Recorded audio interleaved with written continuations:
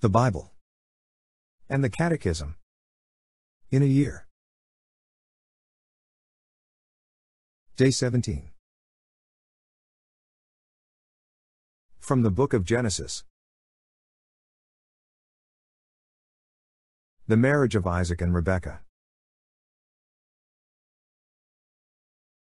Now Abraham was old, well advanced in years, and the Lord had blessed Abraham in all things.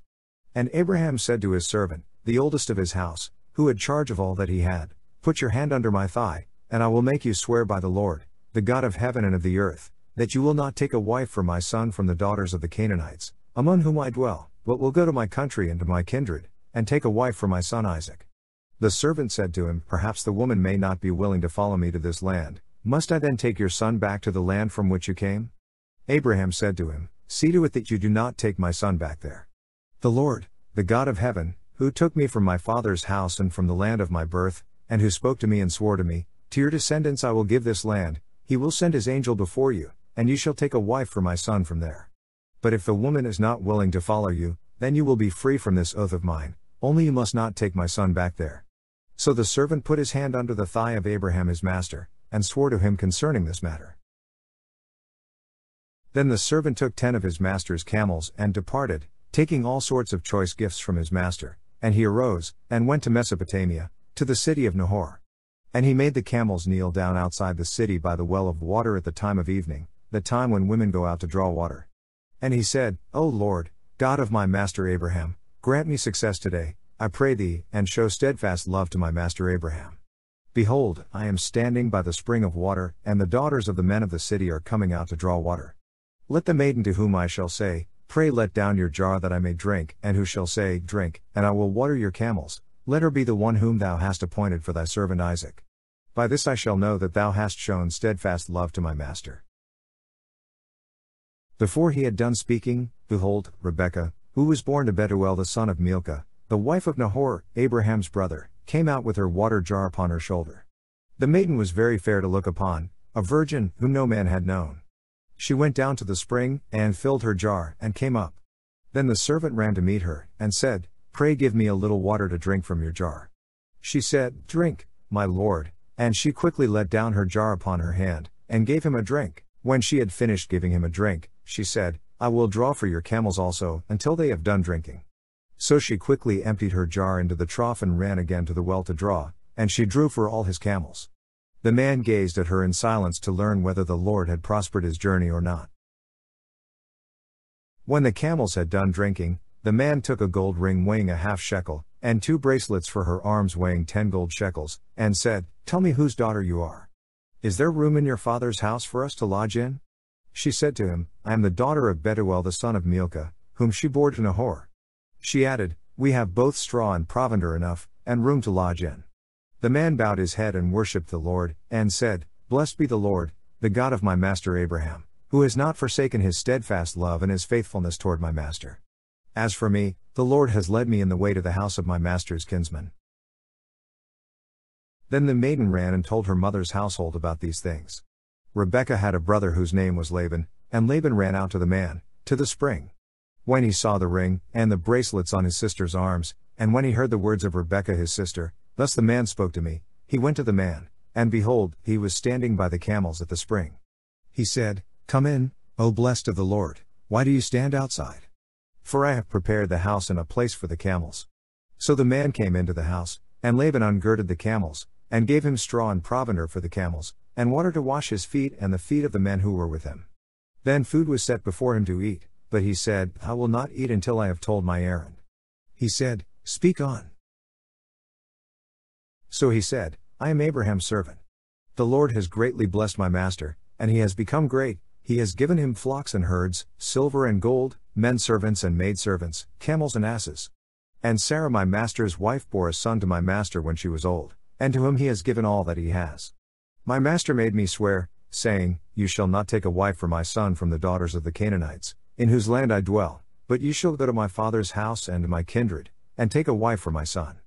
I said to my master, Perhaps the woman will not follow me, but he said to me, The Lord, before whom I walk, will send his angel with you and prosper your way, and you shall take a wife for my son from my kindred and from my father's house, then you will be free from my oath, when you come to my kindred, and if they will not give her to you, you will be free from my oath. I came today to the spring, and said, O Lord, the God of my master Abraham, if now thou wilt prosper the way which I go, behold, I am standing by the spring of water. Let the young woman who comes out to draw, to whom I shall say, Pray give me a little water from your jar to drink, and who will say to me, Drink, and I will draw for your camels also, let her be the woman whom the Lord has appointed for my master's son. Before I had done speaking in my heart, behold, Rebekah came out with her water jar on her shoulder, and she went down to the spring, and drew. I said to her, Pray let me drink. She quickly let down her jar from her shoulder, and said, Drink, and I will give your camels drink also. So I drank, and she gave the camels drink also. Then I asked her, Whose daughter are you? She said, The daughter of Bethuel, Nahor's son, whom Milcah bore to him. So I put the ring on her nose, and the bracelets on her arms. Then I bowed my head and worshipped the Lord, and blessed the Lord, the God of my master Abraham, who had led me by the right way to take the daughter of my master's kinsman for his son. Now then, if you will deal loyally and truly with my master, tell me, and if not, tell me, that I may turn to the right hand or to the left. Then Laban and Bethuel answered, The thing comes from the Lord, we cannot speak to you bad or good. Behold, Rebekah is before you, take her and go, and let her be the wife of your master's son, as the Lord has spoken. When Abraham's servant heard their words, he bowed himself to the earth before the Lord. And the servant brought forth jewelry of silver and of gold, and raiment, and gave them to Rebekah, he also gave to her brother and to her mother costly ornaments. And he and the men who were with him ate and drank, and they spent the night there. When they arose in the morning, he said, Send me back to my master. Her brother and her mother said, Let the maiden remain with us a while, at least ten days, after that she may go. But he said to them, Do not delay me, since the Lord has prospered my way, let me go that I may go to my master. They said, We will call the maiden and ask her. And they called Rebekah, and said to her, Will you go with this man? She said, I will go. So they sent away Rebekah their sister and her nurse, and Abraham's servant and his men. And they blessed Rebekah, and said to her, Our sister, be the mother of thousands of ten thousands, and may your descendants possess the gate of those who hate them. Then Rebekah and her maids arose, and rode upon the camels and followed the man. Thus the servant took Rebekah, and went his way. Now Isaac had come from Beer Lahai Roi, and was dwelling in the Negeb. And Isaac went out to meditate in the field in the evening, and he lifted up his eyes and looked, and behold, there were camels coming.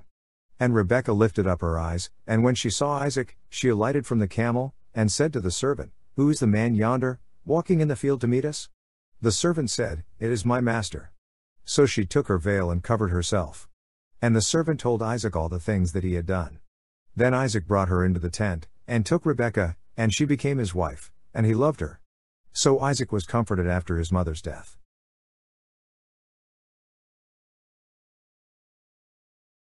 From the Book of Psalms Prayer for deliverance from persecutors. A prayer of David. Hear a just cause, O Lord, attend to my cry. Give ear to my prayer from lips free of deceit. From thee let my vindication come. Let thy eyes see the right. If thou triest my heart, if thou visitest me by night, if thou testest me, thou wilt find no wickedness in me. My mouth does not transgress. With regard to the works of men, by the word of thy lips, I have avoided the ways of the violent. My steps have held fast to thy paths. My feet have not slipped. I call upon thee, for thou wilt answer me, O God. Incline thy ear to me, hear my words. Wondrously show thy steadfast love, O Saviour of those who seek refuge from their adversaries at thy right hand. Keep me as the apple of the eye. Hide me in the shadow of thy wings. From the wicked who despoil me. My deadly enemies who surround me. They close their hearts to pity.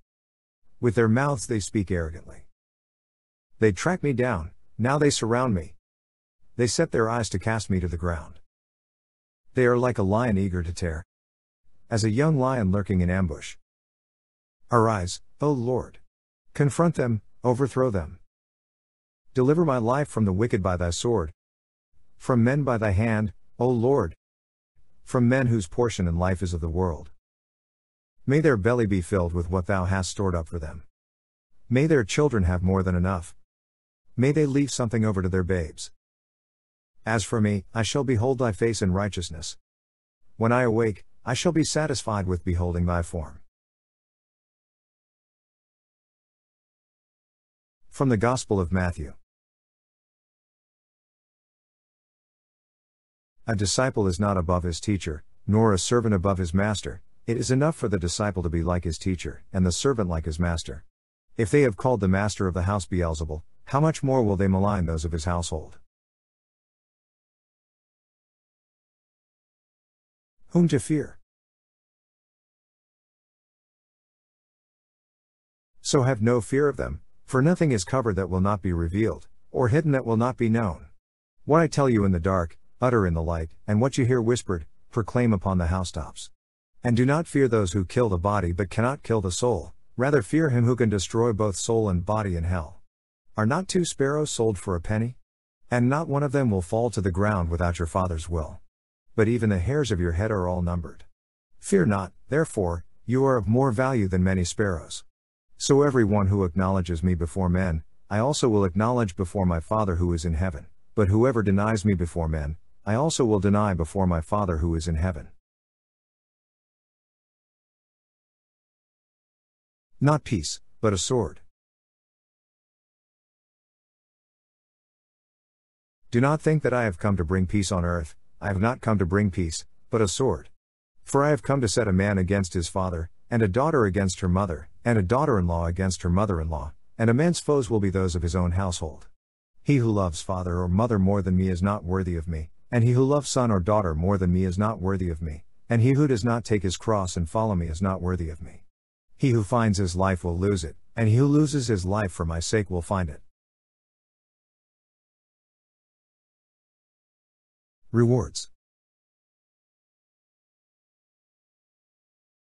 He who receives you receives me, and he who receives me receives him who sent me. He who receives a prophet because he is a prophet shall receive a prophet's reward, and he who receives a righteous man because he is a righteous man shall receive a righteous man's reward. And whoever gives to one of these little ones even a cup of cold water because he is a disciple, truly, I say to you, he shall not lose his reward.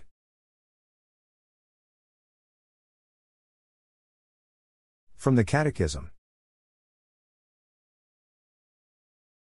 Sacred Scripture in the Life of the Church.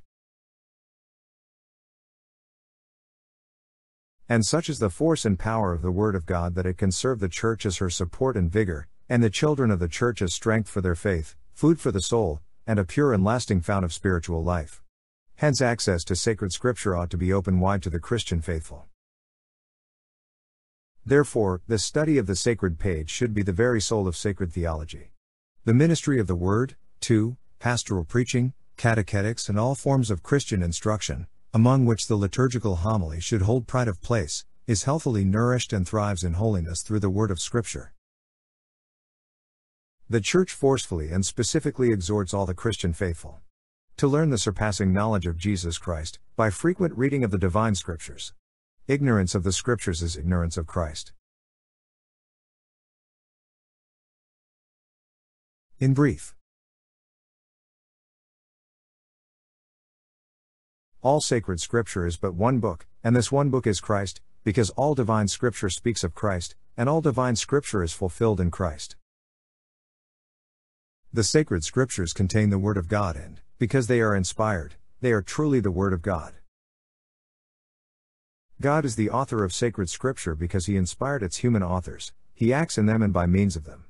He thus gives assurance that their writings teach without error his saving truth. Interpretation of the inspired scripture must be attentive above all to what God wants to reveal through the sacred authors for our salvation. What comes from the Spirit is not fully understood except by the Spirit's action. The Church accepts and venerates as inspired the 46 books of the Old Testament and the 27 books of the New. The four Gospels occupy a central place because Christ Jesus is their center. The unity of the two testaments proceeds from the unity of God's plan and His revelation. The Old Testament prepares for the New and the New Testament fulfills the Old, the two shed light on each other, both are true Word of God. The Church has always venerated the divine scriptures as she venerated the body of the Lord, both nourish and govern the whole Christian life. Your word is a lamp to my feet and a light to my path.